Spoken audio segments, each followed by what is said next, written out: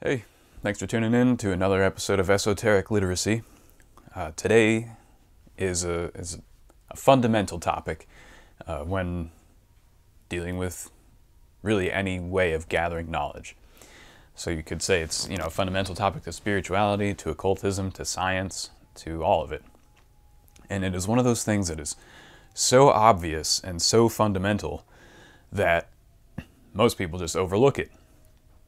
You know, it's it's just right in, under everyone's nose, and nobody considers it to be of importance, or I should say, very few people consider it to be of importance, and that is, you know, your five senses.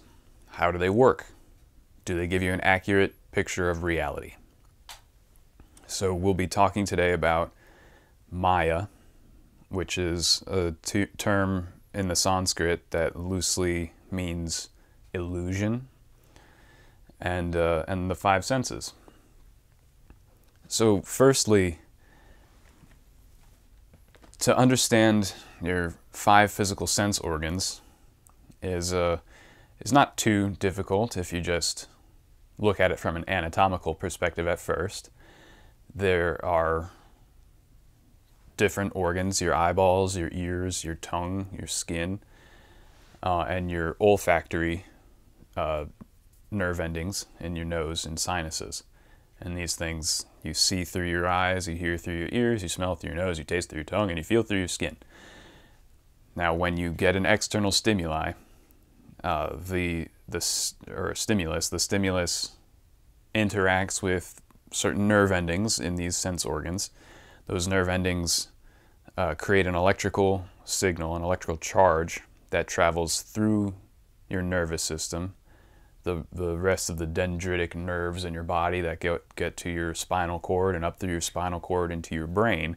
Your brain translates that electrical signal into a perception, and then that perception is perceived by you, whatever you are, whatever the I, you know, the capital letter I is, is what perceives what your brain translates from its environment.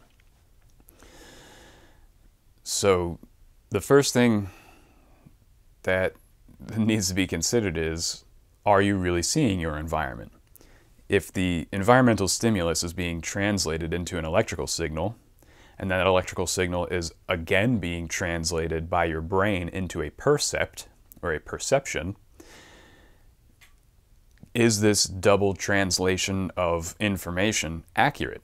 It's going through two layers of information. You have your actual environment getting translated once by the sense organ, and then getting translated a second time by the brain, and perhaps even getting translated a third time by your consciousness. That's a little less clear.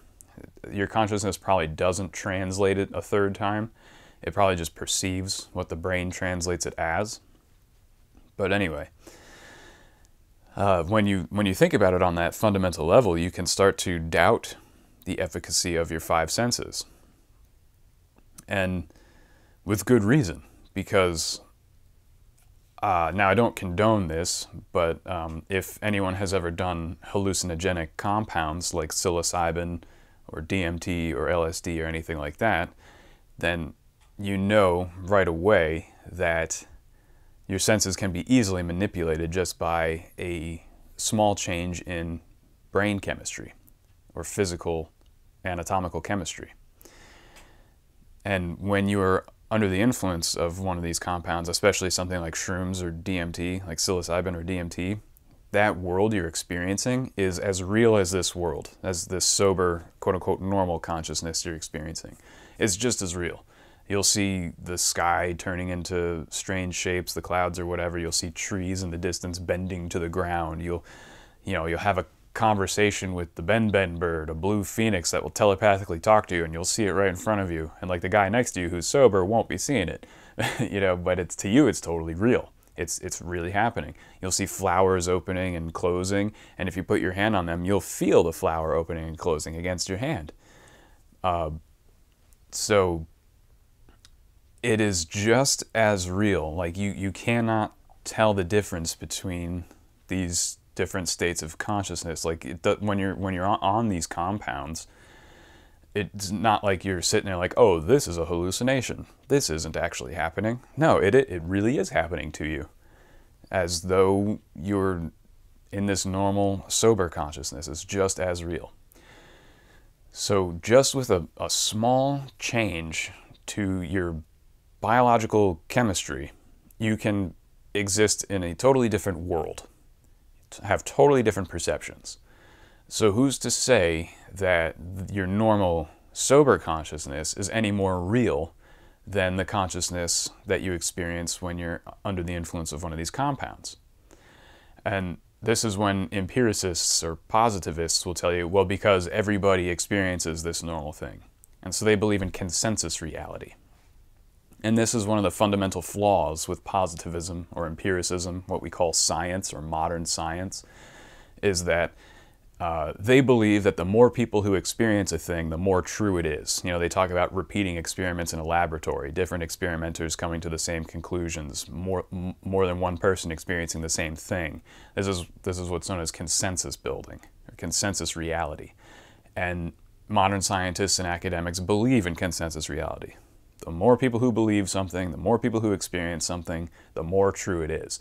And this is a fundamental flaw because if we lived on a planet, say, or if we if our species was like all blind, let's say, consensus reality would be utterly different than what it is to a species who can see.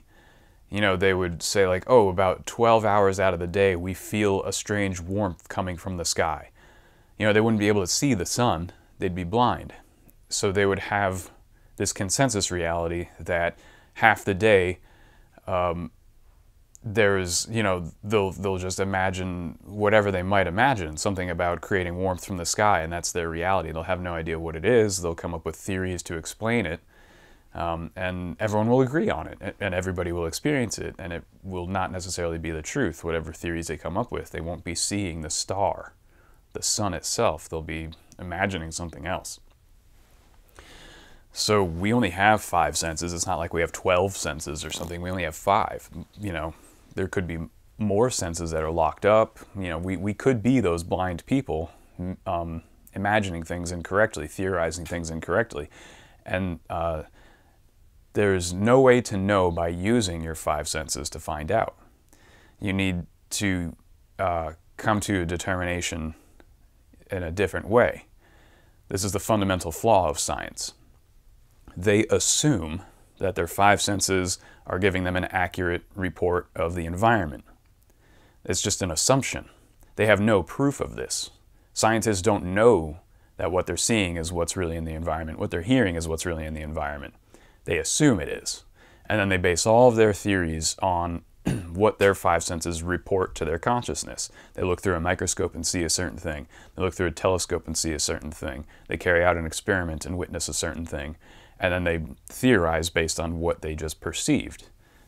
But the thing is, if, if you're getting an inaccurate report of what you are perceiving, then your theory means literally nothing, or it means very little. It's like using a ruler to measure another ruler. It's like, it's arbitrary. If, if the world you're witnessing is an illusion, you cannot prove whether or not it is an illusion, and then you're just studying the phenomena of the illusion then your theories are based on illusion and the perceptions of illusion. This is the, this is the problem with externally oriented ideologies and sciences, what you could call empiricism, what used to be called uh, positivism. And that's, um, that's something that modern scientists will probably never look into because uh, they don't believe in an inner world. So if you want to actually understand whether or not your senses are giving you an accurate report of reality, you must turn your senses in on themselves. You must turn your consciousness in on itself. Turn your awareness in on itself. This is what is referred to as meditation. And this is how you you follow your senses back to their origin, to their source. Whatever that source is, you can follow one of your senses back. Um, the easiest way to do this, in my opinion, is what's known as nada yoga. Now, nada means sound or stream, kind of means sound stream. Um, and nada yoga is when you listen to the different layers of sound that get subtler and subtler. I'll do a whole video on, I actually have a whole lecture planned on Nada Yoga and, and sound, but uh, just for the sake of this video, um, there are four or five layers of sound depending on, on how you look at it. Um, there's the sounds of your environment that you can hear with your ears. There's the sounds of your biology. When you start to tune out the sounds of your environment, you can hear like the blood rushing through your ear, or maybe you have tinnitus or something. And then there's a third layer of sound, which is um, the sounds of your thoughts. You know, people have an inner voice, you know, when you think a thought and like it's kind of like a sound. You can like hear yourself speaking in your head or you can hear the melody of that song that that's stuck in your head. And then the fourth layer of sound is the nadi, the uh, the spiritual sound of creation. You know how everything vibrates. The source of creation is is a vibration that then manifests in all sorts of different uh, phenomena. That's the fourth layer of sound. Then you could say there's a fifth layer of sound that is like the all absolute transcendent silence. And, uh, but you know, that's, is that a sound or is it not kind of a thing? But anyway, um, that's like the easiest sense to track back into its source is by going, falling through these four layers of sound, following them back. And, uh, it's just, I've just noticed that scientists don't do this sort of thing. They'd rather have somebody else do it. Like they'll they'll put an EKG machine or an EEG and blood pressure gauges and blood chemistry uh, gauges and things like that on a yogi, and then they'll observe what their machines tell them as the yogi goes into these meditative states. The scientists don't do it. The scientists just want to observe the physiology of the yogi, the brain waves of the, of the yogi, the electrical activity of the nervous system of the yogi. And they're not experiencing what the yogi is experiencing. They're just looking at readouts on a machine. And that's not going to help you. I mean, it'll help you understand the physiology of a yogi in a meditative state, but it's not going to help you understand yourself or your, your own consciousness. It's not to it's not to do anything for you. The scientists themselves have to do these things. The scientist has to learn the meditation technique and do it and experience it. And then there was a big stigma placed on that back in the 1960s where scientists were doing that. And then all the academics and other scientists in the mainstream were like, you can't do that. You know, it's like going native. When an anthropologist goes native, it's like you're not supposed to actually do it because now your, your mind is corrupted. Now you're too close to the phenomenon. You're in the phenomenon. You can't interpret it from an objective external standpoint. And empiricism is obsessed with this idea of objectivity you have to remove yourself from your experiment as much as possible. You know, um, you have to get rid of you, all of your connections to your experiment and just observe as if you can just be like a completely detached eyeball observing an experiment. Well, newsflash to you guys, it's not possible. You exist in this world and you're connected to everything around you. You cannot separate yourself from your experiment. You cannot separate yourself from your observations. They are a fundamentally connected aspect of your psyche because you are you're witnessing it. It is entering into your consciousness. It is a perception, and there is a, an outward and an inward part of perception, and you are connected to your experiment. And thankfully, some modern scientists have uh, stumbled upon the observer effect. You know, you have Schrodinger's cat, which was developed into the observer effect, where like if depending on who's observing the experiment, how many people are observing the experiment, the mental state of the observers, the experiment will produce different results. This is very popular in parapsychology, especially with like things like dice rolls and determining what face of the die is going to show up. And um, there's all sorts of parapsychological studies that have shown that the mental state of the scientist is just as important as the mental state of the uh, subject, the person who has allegedly parapsychological abilities. That they're both interacting with the experiment in the same amount. They've determined that even with the most gifted, like people who have, let's say, uh, telekinesis or telepathy or, or all the other abilities that parapsychologists study, um, even the most gifted uh, psychics, parapsychological subjects, will have uh, less active results if the experimenter is not in the mood for the experiment. If the scientist is like believes it's not true and not going to work, if they're biased, if they go into the experiment thinking this is not true and this will not work, then uh, the subject will actually have fewer positive results. And if the scientist goes in thinking this is totally true, this is totally going to work, the subject will have more positive results. And if the person tries to be, if the scientist tries to be as objective as possible, um, the results are up and down and give and take.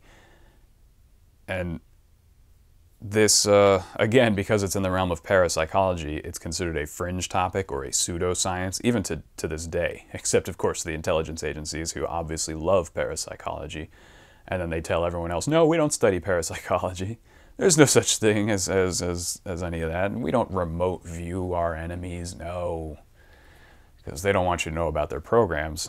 So in the mainstream, it's, it's uh, derided as pseudoscience, and you can't really get uh, funding for it. And it's a liminal topic, and you know, liminal institutions are very ephemeral and get destroyed very easily. If someone's interested in parapsychology and builds an institution around parapsychological studies, um, it won't get much funding. When that guy dies of old age or whatever, the institution will probably collapse around him, um, never to come back. This happens to all parapsychology institutes is because they're so liminal and they exist in that liminal phase, uh, those institutions don't last very long just by the nature of liminality. But the uh, the assumption that your five senses give you an accurate report of reality is a failure at the outset of your spiritual awakening or any or even your scientific endeavors. If you at the beginning if you believe your five senses and your, your outwardly facing externally oriented five senses are giving you an accurate depiction of reality you've already failed before you've begun. That's it's a belief. This is a dogmatic belief. And like the buddha says you should have no beliefs. You should empty yourself from beliefs. This isn't about belief this is about falsehood and truth you either know something or you don't know something. There's none of this belief. So if you have assumptions about the way your mind works while you're trying to explore what reality is, you've already failed. You you you've basically put square wheels on your car. You're not going to go anywhere. So if you purge yourself of the assumptions that science unfortunately has, and that a lot of New Agers unfortunately have, a lot of religious people have. All these different ways of gaining knowledge are full of people who have assumptions about it. Religious people have the assumption that their scriptures are divinely ori- originated. They assume the scriptures all tell the truth and that they're completely accurate. That's an assumption. There's no proof of this. It may be true, it may not be true. It may be somewhat true, it may be somewhat false, but thinking one way or the other about it is an assumption. The empiricists, positivists, scientists, whatever you want to call them, have the assumption that the five senses work properly and are completely accurate, and that the environment is what you perceive it to be, and that's an assumption. And New Agers assume all sorts of things. Again, there are as many different New Age beliefs as there are New Agers, and they'll just assume something they read from Blavatsky is true, or something that they read from uh, Deepak Chopra is true, something that they read from Eckhart Tolle is true. They'll just they'll just assume it's true because these people sound smart and spiritual, and they don't investigate it. Um, they don't research it uh, with their own cognizance. They just sort of start from assumptions. So yeah, that I guess this is this is a short uh, lecture. I just wanted to um, cover this because I, I realized I don't think I, I covered it in, in, earlier videos when I should have because again it's one of those things that's so obvious you don't think to talk about it. Um, because to me it's been so obvious my whole life. When I was a little kid I used to talk about stuff like this like who's hearing what my ears are hearing? You know who is seeing what my eyes are seeing? And like i drive the adults crazy. They're like what the hell are you talking about? Who is seeing? You're seeing what your eyes are seeing. It's like yeah but who am i like my eyes see something and then I perceive it. Who, who is that? Who is seeing what my eyes are seeing? Like my eyes aren't just seeing it, I am seeing it. So what what am I, you know? And I had these questions and adults would just like throw their hands up in the air and sigh and say you shouldn't be thinking about things like this. And and uh you know, I, I would I'd be like, why do we see, you know, with our organs and not our, you know, like why do we see with our eyeballs and not our ears? Or like you know just trying to ask, i asked all these weird questions when i was a kid. And when i had my first hallucinogenic experience when i was a teenager um, now i don't do that stuff anymore. I stopped doing that stuff when i was 18 uh, i don't recommend it i think because what i what i learned was you know i was doing it as as a explorer of consciousness. I was not just doing it recreationally or for fun like a lot of people do like, oh, let's get high. Like, no, I was doing it because it was like a, a ceremonial or shamanic way of exploring your own consciousness. And after doing it a handful of times, I realized, like, oh, this is not an upward movement of consciousness. This is what Westerners are so mistaken by. I think it was, uh, was it Neem Karoli Baba? I can't remember, but somebody, like, gave this Eastern mystic in the 70s, I believe, a whole bunch of LSD, and it hardly affected him. I, well, I mean, I, it affected him in that he understood what it was doing, and and he called it Western man's daydream. And I realized the same thing: is that this is not an upward movement of consciousness. All these Americans or Westerners, Western Europeans and Americans, think that these drugs are an upward movement of consciousness, that they give you a more spiritual way of looking at things. And it doesn't. It's a sideways movement of consciousness. You're basically trading one set of illusions and percepts for another set of illusions and percepts. And you're not really seeing any higher realm. You're seeing a, a sidestep realm, what people could call the lower astral even the etheric, even lower than the lower astral, would be the etheric or vital forces realm, which is basically just the energetic side of physical matter. And so it's a sideways step in consciousness. And yeah, you can see different beings that populate these areas, like elementals and, and whatnot, maybe some lower astral beings or some etheric entities. Uh, but those are not higher beings. Those are just beings that are normally invisible. And but what I did learn was that what I mentioned at the beginning of the lecture is that, oh, well, you can easily manipulate your five senses. You just changed your body chemistry just a little tiny bit, and you're in a different world. So your five senses clearly are not reporting to you what you think they're reporting to you. They could be reporting something totally other than reality. You know, you have the whole brain in the vat thing. Was that Heidegger who said, who, I can't remember the philosopher, but like the idea that like you might not even exist as a human being in this world. You could just be a brain in a vat getting different electrical and magnetic stimuli, uh, making you perceive this world. Like, kind of like, you know, I think part of the Matrix movie was based on this idea. And yeah, that's, uh, you look at what intelligence agents can do with the V2K technology, the voice to skull technology. They just tight beam a microwave beam at someone's head, and then that person is hearing voices, you know? Um, the the dude who is put who made that electromagnetic helmet and like you just wave certain frequencies of electromagnet force into certain parts of the brain and like he could get people to have religious experiences and the religious experience would show up based on their uh, preconceived beliefs. Like christians would see christ buddhists would see buddha and things like that just because he was zapping their brains with a magnet. And uh, he could give people nightmares or he could give people pleasant dreams. He could make people feel bliss. He could make people feel fear just by zapping their brains with, uh, with just a magnetic force. So your perceptions are very easily manipulated. They're very mutable. They're not as solid as scientists want you to believe they are.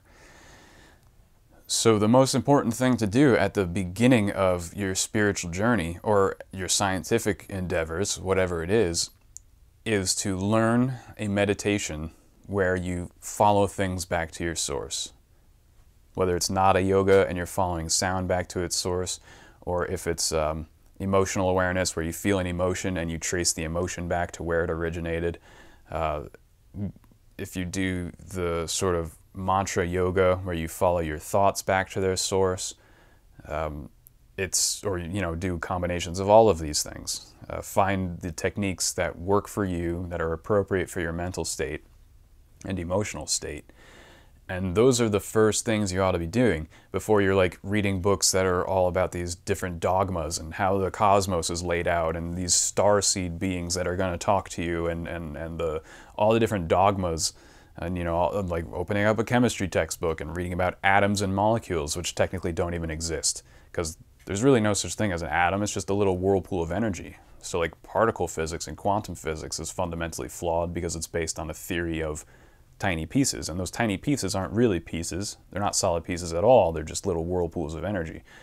And they change depending on how you look at them. That's the observer effect that quantum physicists have started to discover so we have these assumptions going into things.